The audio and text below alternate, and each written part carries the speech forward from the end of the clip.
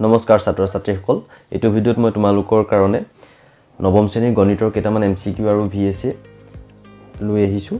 যাৰ আনচাৰবিলাক মই ইয়াত তোমালোকক যিমান কৰি দিবলৈ চেষ্টা কৰিম তোমালোকে ভালদৰে ভিডিঅ'টো শেষলৈকে স্কিপ নকৰাকৈ ভালদৰে চাই যাবা।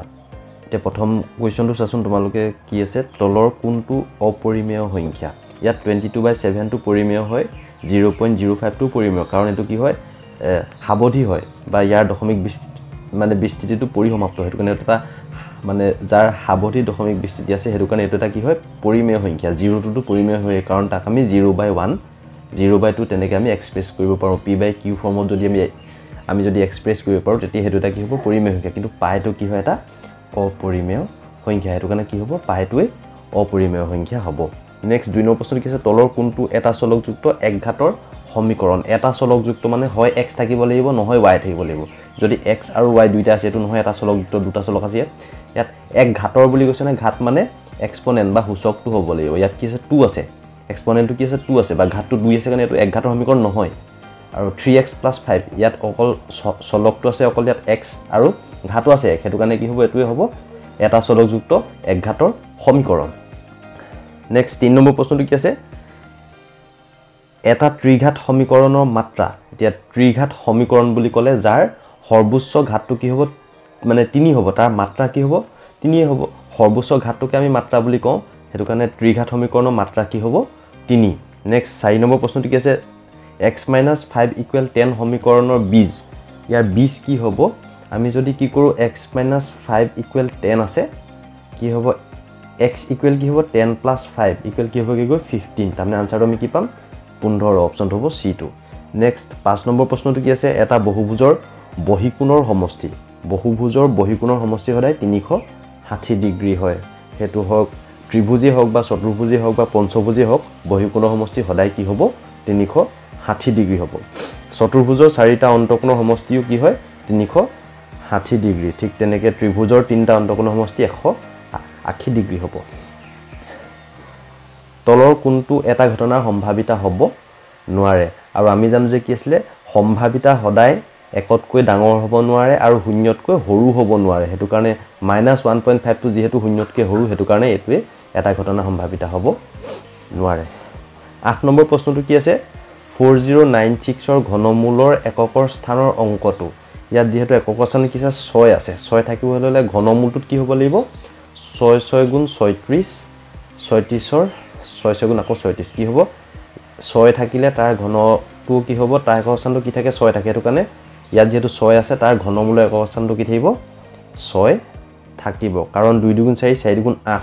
ই হ'বলৈ হ'লে কি হ'ব লাগিব? ইয়াৰ লাষ্টত কি থাকিব লাগিছিলে? আঠ থাকিব লাগিছিলে। কিন্তু ছয় থাকিলে কি হ'ব? ছয় থাকিব। নেক্সট ন নম্বৰ প্ৰশ্নটো কি আছে? তলৰ কোনটো বহুপদ নহয়। তেতিয়াহ'লে আমি প্ৰথমতে বহুপদনো কোনবিলাক আমি সেইটো কথা জানিব লাগিব। বহুপদ হ'বলৈ হ'লে কি হ'ব লাগিব? যে প্ৰত্যেকটো চলকৰ ঘাতবিলাক বা সূচকবিলাক কি হ'ব লাগিব? অবিয়োগাত্মক অখণ্ড সংখ্যা হ'ব লাগিব অখণ্ড সংখ্যা হ'ব লাগিব। প্ৰত্যেকটো চলকৰ ঘাতবিলাক ইয়াত যিহেতু এক্সটো চলক আছে তাত বাৰু ঠিকেই আছে ওৱান আছে। কিন্তু ৱাইটোৰ ওপৰত কি আছে? ৰুট অভাৰ চাইনটো আছে আমি যদি আঁতৰাই দিওঁ কি হ'ব? পাৱাৰত ওৱান বাই টু গুচি যাব। যিটো এটা অখণ্ড সংখ্যা নহয় সেইটো কাৰণে এইটো নহয়েই এটা বহুপদ ইয়াত x square plus two x plus five ইয়াত এক্সৰ ওপৰত ওৱান আছে ইয়াত টু আছে। এইটোৱে হ'ব কি এটা এইটো এটা বহুপদেই হয়। ঠিক তেনেকৈ ইয়াতো কি আছে ওৱান আছে বহুপদ হ'ব ইয়াতো এক্স স্কোৱাৰ টু আছে এইবিলাক চব অবিয়োগাত্মক অখণ্ড সংখ্যা হয়। সেইটো কাৰণে এই গোটেই তিনিটা বহুপদ হয়। কিন্তু এইটো কি হয় বহুপদ নহয় কাৰণ ৱাইৰ ওপৰত কি আছে? এই ৰুট অভাৰ চাইনটো যদি মই যদি আঁতৰাই দিওঁ কি হ'ব? ওৱান বাই টু গুচি যাব যিটো অখণ্ড সংখ্যা নহয়। আৰু বহুপদ হ'বলৈ হ'লে চলকবিলাকৰ ঘাতবিলাক কি হ'ব লাগিব? অবিয়োগাত্মক অখণ্ড সংখ্যা হ'ব লাগিব। নেক্সট দহ নম্বৰ প্ৰশ্নটো কি আছে?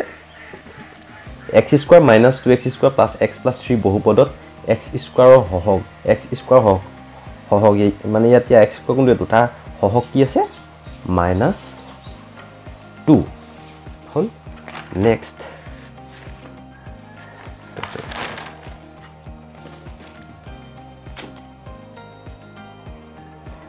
এঘাৰ নম্বৰ প্ৰশ্নটো চাচোন কি আছে? যে এটা সৰল কোণৰ মাপ আমি জানো যে সৰল কোণৰ মাপ কি হয়? এশ আশী ডিগ্ৰী ঠিক তেনেকৈ সমকোণৰ মাপ নব্বৈ ডিগ্ৰী সম্পূৰ্ণ কোণৰ মাপ তিনিশ ষাঠি ডিগ্ৰী আৰু ষাঠি ডিগ্ৰী কি হয়? সূক্ষ্ম কোণৰ মাপ। তলৰ কোনটো সৰ্বসমতাৰ চৰ্ত নহয়? বা কু বা মতে আমি সৰ্বসম বুলি প্ৰমাণ কৰিব পাৰোঁ আমি দুটা ত্ৰিভুজ। বা বা বা চৰ্ত মতেও পাৰোঁ।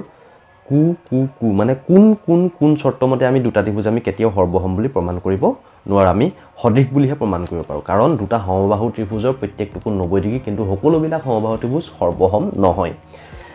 সদৃশে হয়। তেৰ নম্বৰ প্ৰশ্ন কি আছে? এক্স অক্ষৰ সমীকৰণ হ'ব। এক্স অক্ষৰ সমীকৰণ সদায় কি হ'ব? ৱাই ইকুৱেল জিৰ' ঠিক তেনেকৈ ৱাই অক্ষৰ সমীকৰণ বুলি ক'লে আমি সদায় কি কৰি লিখিম? এক্স ইকুৱেল জিৰ' চৈধ্য নম্বৰ প্ৰশ্নটো কি আছে?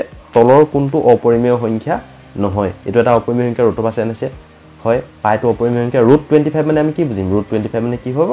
ফাইভ যিটো এটা কি হয়? পৰিমেয় সংখ্যা। সেইটো কাৰণে এইটো এটা অপৰিমেয় সংখ্যা নহয় পৰিমেয় সংখ্যা হয়। পোন্ধৰ প্ৰশ্ন কি আছে? এক্স টু দি পাৱাৰ জিৰ'ৰ মান হ'ব সদায় কি হ'ব? এক। ইয়াত আমাক যিয়ে থাকে a to the power zero' equal কি হ'ব? ওৱান হ'ব। চব কি হ'ব? ঘাতটো যদি শূন্য হয় সদায় ওৱান হ'ব। ষোল্লৰ প্ৰশ্ন কি আছে? Minus two comma minus five বিন্দুৰ কুটি হ'ল। এতিয়া কুটি বুলি ক'লে আমি কি বুজোঁ? ৱাই অক্ষৰ স্থানা মানে ৱাইৰ স্থানাংকটোকে চৰি ৱাইৰ স্থানাংকটোকে আমি কি বুলি কওঁ? কুটি বুলি কওঁ। আৰু এক্সৰ স্থানাংকটোক আমি কি বুলি কওঁ? ভোজ। এতিয়া যিহেতু ৱাইৰ স্থানাংকটো মাইনাছ ফাইভ আছে কুটি কি হ'ব? Minus five. সোতৰ নম্বৰ প্ৰশ্ন কি আছে? এটা বিন্দুৰ স্থানাংক জিৰ' কমা মাইনাছ ফ'ৰ হয় তেন্তে বিন্দুটোৰ অৱস্থান হ'ব। যিহেতু ইয়াত চোৱাচোন এক্সৰ স্থানাংক জিৰ' হ'লে ক'ত থাকে সদায়? ৱাই অক্ষত থাকিব বিন্দুটো। আৰু ৱাইৰ স্থানাংক জিৰ' হ'লে কি হ'ব? এক্স অক্ষত থাকিব। ওঠৰ প্ৰশ্নটো কি আছে? এটা বিন্দু পি থ্ৰী কমা ফ'ৰৰ এক্স অক্ষৰ পৰা দূৰত্ব। এক্স অক্ষৰ পৰা দূৰত্ব সদায় আমি ৱাই চৰি টু ৱাই অক্ষৰ পৰা দূৰত্ব সদায় আমি কি কৰিম? এক্সৰ স্থানাংকটো কি হ'ব? তিনি একক হ'ব। আৰু এক্স অক্ষৰ পৰা দূৰত্ব সদায় কি হ'ব? ৱাইৰ স্থানাংকটো। মনত ৰাখিবা এইটো কথা। নেক্সট ওঠৰ নম্বৰ প্ৰশ্নটো চাচোন কি আছে? ওঠৰটো হৈ গ'ল এতিয়া ঊনৈছ নম্বৰ প্ৰশ্নটো চাচোন কি আছে? যে two root three plus root five two root three minus root five এইটো কি আছে? এ প্লাছ বি হ'ল ইনটু এ মাইনাছ বি ফলত পাইছে কি লিখিম আমি? A square minus B square কি হ'ব তেতিয়া এইটো? দুই দুগুণ হ'ব চাৰি ইয়াৰ পৰা থাকিলে কাৰণে কাট খাই হ'লগৈ ৰোডৰ পৰা চাইনটো মাইনাছ পাঁচৰ পৰা এইটো গ'লে চাইনটো বাৰ মাইনাছ ফাইভ গ'ল কি হ'ব? ছেভেন আনচাৰটো হ'ব বি টু সাত আমি এইটো কি কৰিলোঁ? এ প্লাছ বি হ'লটো এ মাইনাছ বি ফৰ্মুলা পেলাই দিলোঁ A square minus B square solve কৰি দিলোঁ দুই দুগুণ চাৰি ইয়াৰ পৰা থকা কাৰণে এইটো কাট খাই গ'ল তিনি হ'লগৈ চাৰি তিনি বাৰৰ পৰা পাঁচ গ'লে আমি কি পালোঁ? সাত। বিছ নম্বৰ প্ৰশ্নটো চোৱাচোন কি আছে? A B equal Q R comma B C equal P R C A equal P Q তেন্তে তলৰ কোনটো শুদ্ধ ইয়াত যেতিয়া ড্ৰয়িংটো তোমালোকে আঁকি চাবা এ বি চি আৰু কিউ আৰ পি এনেকৈ যেতিয়া আঁকি চাবা A B equal Q R তাৰপিছত B C equal P R আৰু C A equal P Q তেতিয়াহ'লে কি হ'ব? ত্ৰিভুজ B A C R Q P R Q P চিটো option হ'ব শুদ্ধ। নেক্সট এতিয়া এইখিনি আছিলে এম চি কিউ কেইটা নেক্সট আমি শ্বৰ্ট আনচাৰ টাইপ কুৱেশ্যনখিনি আমি আলোচনা কৰিম। এতিয়া প্ৰথম কুৱেশ্যনটো চাইছে মই ইয়াৰ শ্বৰ্ট আনচাৰ টাইপ কুৱেশ্যন পঁচিছটা মই এইটো ভিডিঅ'ত আলোচনা কৰিম। এতিয়া প্ৰথম প্ৰশ্ন চোৱাচোন কি আছে? এক্স অক্ষ আৰু ৱাই অক্ষৰ ছেট বিন্দুৰ নাম কি? এইটো আমি জানো যে মূল বিন্দু। এক্স অক্ষ আৰু ৱাই অক্ষৰ ছেট বিন্দুৰ নাম কি হয়? মূল বিন্দু বুলি কওঁ আমি। নেক্সট দুই নম্বৰ প্ৰশ্ন আছে? কু বা কু সৰ্বসমতাৰ বিধিটো লিখা। কু বা কু মানে কি হ'ব? কোন? বাহু আৰু কোন? নেক্সট এইটো আছে সৰল কৰা। Two to the power two by three into two to the power one by five যিহেতু দুইটা টু টু একেই আছে দুইটা টু ভিতৰত এটাটো লিখিলোঁ। টু বাই থ্ৰী যিহেতু মানে ইনটু থাকিলে ওপৰৰ সূচককেইটা কি হ'ব সদায়? প্লাছ হয় ওৱান বাই ফাইভ কি হ'ব এইটো two to the power plus কৰিলে আমি কি পাম? পাঁচ আৰু তিনি আমি লখাগু ল'ম। পাঁচ দুগুণ পোন্ধৰ হ'বগৈ গৈ। তিনিয়ে পোন্ধৰক আমি হৰণ কৰিব লাগিব। কি পাম? পাঁচ পাম পাঁচ দুগুণ দহ প্লাছ পাঁচে পোন্ধৰ হৰণ কৰিলে তিনি পাম। তিনি এগুণ তিনি কি পালোঁগৈ আমি গৈ? Two to the power thirteen by fifteen এইটো হ'লগৈ ইয়াৰ আনচাৰটো নেক্সট আছে ওৱান বাই টু পাৰ্চেণ্টক ভগ্নাংশত প্ৰকাশ কৰা। ওৱান বাই টু পাৰ্চেণ্টক আমি কি প্ৰকাশ কৰিব লাগে? ভগ্নাংশ। আমি যদি ভগ্নাংশটো এই পাৰ্চেণ্টেজ চিনটো যদি আমি যদি আঁতৰাই দিওঁ কি হ'বগৈ গৈ এইটো? ওৱান বাই টু হৰণ এশ। তেতিয়া কি হ'ব? One by two into one by hundred হ'বগৈ গৈ। কি হ'ব তেতিয়া এইটো? ওৱান বাই টু হাণ্ড্ৰেড হ'ল। এইটো হ'লগৈ ইয়াৰ ভগ্নাংশত প্ৰকাশ কৰিলোঁ আমি কি পালোঁ? ওৱান বাই টু হাণ্ড্ৰেড নেক্সটটো কি আছে? P x equal two x plus five বহুপদ ৰাশিটোৰ শূন্য নিৰ্ণয় কৰা। Two x plus five two x plus five equal zero' লিখিম আমি। টু এক্স ইকুৱেল কি হ'ব? মাইনাছ ফাইভ এক্স ইকুৱেল কি হ'ব? মাইনাছ ফাইভ বাই টু এইটো হ'ব তাৰ শূন্য। নেক্সট কি আছে? এটা চতুৰ্ভুজৰ কোন চাৰিটা অনুপাত three is to five is to nine is to thirteen হ'লে চতুৰ্ভুজকেইটাৰ কোনকেইটা নিৰ্ণয় কৰা? কি দিছে অনুপাতটো? Three is to five is to nine is to thirteen three is to five is to nine is to thirteen দিয়া আছে। এতিয়া আমি কি কৰি ধৰি ল'ম? ধৰা হ'ল কোনকেইটা three x five x nine x আৰু থাৰ্টিন এক্স আৰু আমি গোটেই চাৰিটা কোণ কৰিলে আমি কিমান ডিগ্ৰী পাম? তিনিশ ষাঠি ডিগ্ৰী। গোটেইকেইটা আমি কৰিলে কিমান পাম? ন দহ এঘাৰ বাৰ তেৰ চৈধ্য পোন্ধৰ ষোল্ল সোতৰ ওঠৰ ঊনৈছ বিছৰ শূন্য উকলিব দুই। নয়ে পাঁচে চৈধ্য পোন্ধৰ সোতৰ সোতৰ তিনি বিছ উকলিব দুই। একে দুয়ে তিনি ত্ৰিছ এক্স ইকুৱেল আমি কি পালোঁ? Three sixty. এক্স ইকুৱেল কি হ'ব?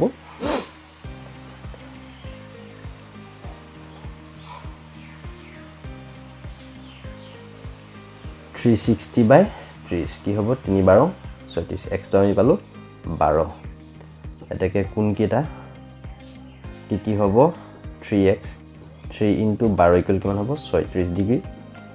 Five x five into বাৰ ইকুৱেল কি হ'ব? Sixty degree.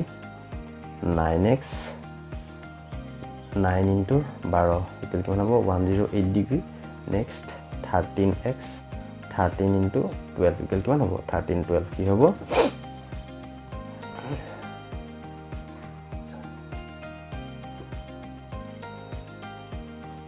One fifty six এতিয়া আমি গোটেইকেইটা কোণ আমি যোগ কৰি চালে পাব লাগিব তিনিশ ষাঠি ডিগ্ৰী। কি হ'ব? আঠাইছ চৈধ্য চৈধ্য ছয় কি হ'ব? বিছ। ছয় তিনি ন দহ এঘাৰ বাৰ তেৰ চৈধ্য পোন্ধৰ ষোল্ল ছয় কৰিব এক সেইটোকে তিনি তিনিশ ষাঠি ডিগ্ৰী আমি পাই গ'লোঁ। এইকেইটা আছিলে কোনকেইটা? নেক্সট সাত নম্বৰ প্ৰশ্ন কি আছে? এটা শংকুৰ বক্ৰপৃষ্ঠকালি নিৰ্ণয় কৰা যাৰ নতি উচ্চতা দহ আৰু ভূমি ব্যাসাৰ্ধ সাত চেণ্টিমিটাৰ। শংকুৰ বক্ৰপৃষ্ঠকালি কি আছিলে? পাই আৰ এল। পাইটো সাত ভাগৰ বাইছ আৰটো কিমান দিয়া আছে? আৰটো আমাক দিয়া আছে সাত চেণ্টিমিটাৰ আৰু এলটো দিয়া আছে টেন আৰটো দিয়া আছে সাত এলটো দিয়া আছে টেন সাত সাত কেঞ্চেল বাইছ দগুণ কিমান হ'ব? দুশ বিছ চেণ্টিমিটাৰ স্কোৱাৰ হ'ব শংকুটোৰ বক্ৰপৃষ্ঠকালি আঠ নম্বৰ কৈছে এক্স ইকুৱেল মাইনাছ ওৱান হয় তেন্তে বহুপদ ৰাখি five x minus four x square plus three এক্সৰ মান উলিওৱা। এক্স ইকুৱেল মাইনাছ ওৱান কি দি আছে? Five x minus four x square plus three আমি মান উলিয়াব লাগে এক্স টু মাইনাছ ওৱানত ফাইভ ইণ্টু আমি এক্সলৈকে মাইনাছ বাদ দিম। Four in minus four into minus one square plus three কি হ'ব প্লাছে মাইনাছে minus five one J five minus মাইনাছে মাইনাছে প্লাছ এক একো এশ বুলি গৈ প্লাছ থ্ৰী হ'ব। Minus five minus four plus three কি হ'ব? মাইনাছে মাইনাছে plus minus nine plus three কি হ'ব? মাইনাছ ছিক্স ইয়াতোতো কি হ'ব? মাইনাছ ছিক্স দহ চেণ্টিমিটাৰ ব্যাসযুক্ত বৃত্তৰ পৰিধি। ব্যাস কিমান দিয়া আছে ব্যাস দিয়া আছে দহ এতেকে আৰটো কি হ'ব মানে ব্যাসাৰ্ধ হ'ব ফাইভ চেণ্টিমিটাৰ গতিকে পৰিধি কি হ'ব পৰিধি আছিলে টু পাই আৰ টু ইনটু পাই জেগাত আমি কি লিখিম সাত ভাগৰ বাইছ আৰটো কিমান হ'ব ফাইভ কি হ'ব দিলে এইটো পূৰণ কৰিলে পাঁচ দুগুণ দহ দহৰ লগত দুশ বিছ পূৰণ কৰিলে আমি কি পাম পাঁচ দুগুণ দহৰ লগত বাইছ পূৰণ কৰিলে আমি পাম দুশ বিছ বাই সাত চেণ্টিমিটাৰ স্কোৱাৰ এইটো আছিলে বৃত্তটোৰ পৰিধি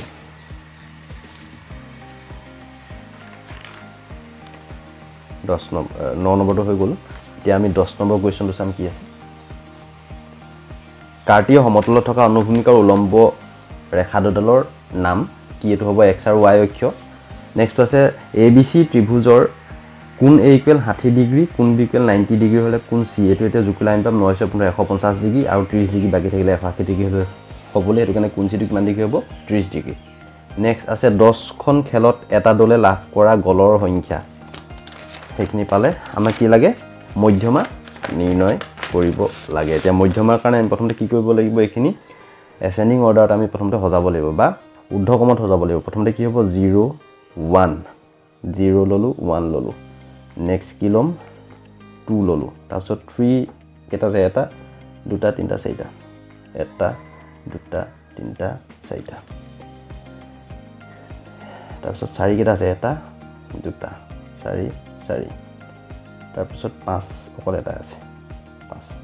এক দুই তিনি এক দুই তিনি চাৰি পাঁচ ছয় সাত আঠ ন দহ। এতিয়া দহখন খেলত মধ্যমা যিহেতু দহ হ'ল। এনটো কি হৈছে? টেন এতেকে মধ্যমা কি হ'ব?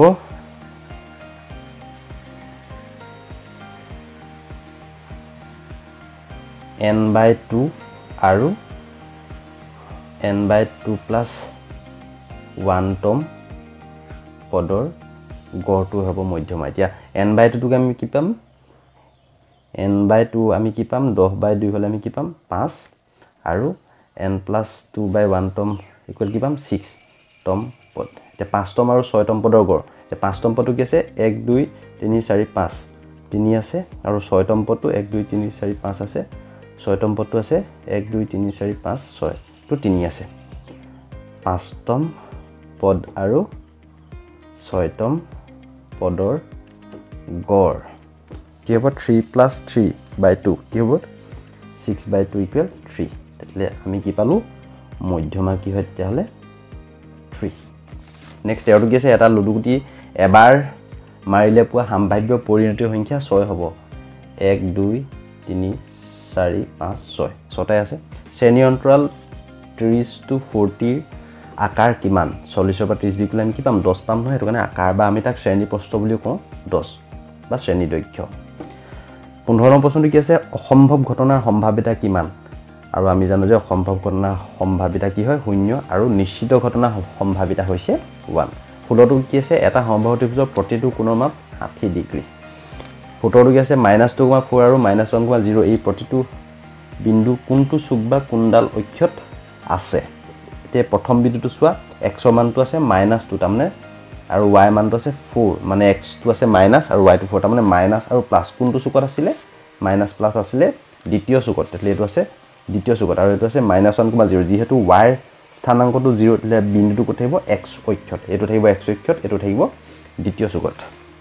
কি আছে এটা ঘনকৰ মুঠ পৃষ্ঠকালি আৰু পাঁচশ পৃষ্ঠকালি অনুপাত উলিওৱা। ঘনকৰ মুঠ পৃষ্ঠকালি আছিলে ছিক্স এল স্কোৱাৰ বা six A square is to four A square L L চব কেঞ্চেল যাব ছিক্স ইজ টু ফ'ৰ হ'বগৈ গৈ কি হ'ব? Three is to two two two যাব টু থ্ৰী যা six three is to two two পাঁচশ পৃষ্ঠকালি মুঠ পৃষ্ঠকালি অনুপাত। ঊনৈছ নম্বৰ প্ৰশ্নটো কি আছে? সমাধান কৰা seven x minus four equal seventeen seven x minus four equal seventeen seven x equal কি হ'ব? Seventeen plus four x equal কি হ'ব এইটো? একৈছ বাই ছেভেন ছেভেন থ্ৰী যা টুৱেণ্টি ওৱান এক্স আমি কি পালোঁ? থ্ৰী নেক্সটটো কি আছে? এক্স প্লাছ এ আৰু এক্স প্লাছ বি ইকুৱেল কি হয়? X square plus A plus B whole into x plus A B একৈছ নম্বৰ প্ৰশ্নটো কি আছে? Five two nine zero' zero' বৰ্গমূলৰ শেষৰফালে কিমানটা শূন্য থাকিব? ইয়াত যিহেতু দুটা শূন্য আছে বৰ্গমূলটোত এটাই শূন্য থাকিব। অভেদ ব্যৱহাৰ কৰি বৰ্গ উলিয়া টুৱেণ্টি নাইন টুৱেণ্টি নাইনৰ আমি বৰ্গ উলিয়াব লাগে অভেদ ব্যৱহাৰ কৰি। টুৱেণ্টি নাইন স্কুৱাৰ ইয়াৰ পৰা আমি লিখিম thirty minus one whole square three square গ'লে আমি ঊনত্ৰিছ পাম যিহেতু উলিয়াই আমি স্কুৱাৰ কৰি দিলোঁ A square minus two A into B plus B square এইটো হ'ব নশ চৰি ন হাজাৰ হ'লগৈ নশ ত্ৰিছ দুগুণ ষাঠি প্লাছ ওৱান এইটো হ'ব নশ মাইনাছ ফিফটি নাইন পৰা নগ'লে এক ইয়াত থাকিলে তোমাৰ নৰ পৰা পাঁচ গ'লে চাৰি ইয়াত থাকিলে আঠ। এইট ফৰ্টি ওৱান নেক্সটটো কি আছে সোতৰ ডিগ্ৰী কোণৰ পূৰক কোণটোৰ মাপ কিমান? নব্বৈৰ পৰা এইটো মাইনাছ কৰি দিবা আনচাৰ ওলাই যাব। চৌবিছটো কি আছে? প্ৰামাণিক ৰূপত লিখা। ইয়াত প্ৰামাণিক ৰূপত লিখা বুলি ক'লে দশমিকৰ বাওঁহাতে অকল এটাই স্বাভাৱিক সংখ্যা থাকিব লাগিব। কি হ'ব? তেতিয়াহ'লে থ্ৰী পইণ্ট ফ'ৰ ফাইভ হ'ব। এতিয়া দশমিক কেইজাপ মাৰিলে? এক দুই এক দুই তিনি চাৰি পাঁচ জাপ মাৰিলে। সেইটো কাৰণে যিহেতু বহুত সৰু সংখ্যা আমি ডাঙৰ কৰিলোঁ নহয় থ্ৰী পইণ্ট ফ'ৰ ফাইভ কৰি তাক তেতিয়াহ'লে টেন ইনটু কি হ'ব মাইনাছ ফাইভ হৈ গুচি যাব যিহেতু সোঁহাতে জাপ মাৰিলে দশমিকটো শংকুৰ নতি উচ্চতা এল ইকুৱেল কি আছিলে? শংকুৰ নতি উচ্চতা এল ইকুৱেল কি আছিলে? Root over R square plus H square এইটো আছিলে প্ৰথম পাৰ্টটো নেক্সট আকৌ মই নেক্সট পাৰ্টত বাকীখিনি আৰু অলপ কুৱেশ্যন তোমালোকে এম চি কিউ আৰু ভি চিক আৰু কেইটামান লৈ আহিম তোমালোকে চেনেলটো ছাবস্ক্ৰাইব কৰি থ'বা। ধন্যবাদ।